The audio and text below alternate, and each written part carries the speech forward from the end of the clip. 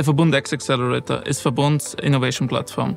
It is amongst the leading co-creation platforms in Europe, and it's trying to connect the world best startups, tech champions and industry leaders. The Innovation Camp is part of our Verbund X Accelerator, where we really come together with the startups and our industry partners to find solutions that will shape the future of energy and infrastructure. We wanted to add investment as a real focus in the program this year.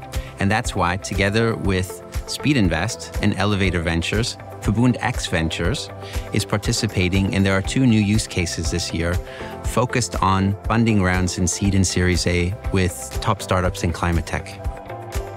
As venture capital arm of Raiffeisen, we are also looking in how we can enable the green transformation and teaming up here with the experts of Verbund X and uh, Speedinvest and looking together at two most promising startups was a great opportunity for us.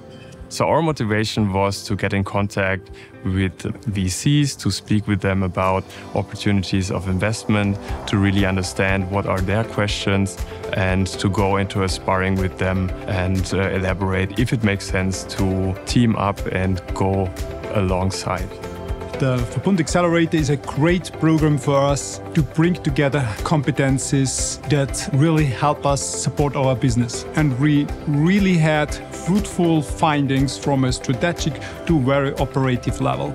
So, together with our partners, the venture capital partners, and the corporate partners, we will decide with which startups we want to go into the next phase, in the acceleration phase, where work really starts and we try to prove that our solutions don't re really look nice but create an impact.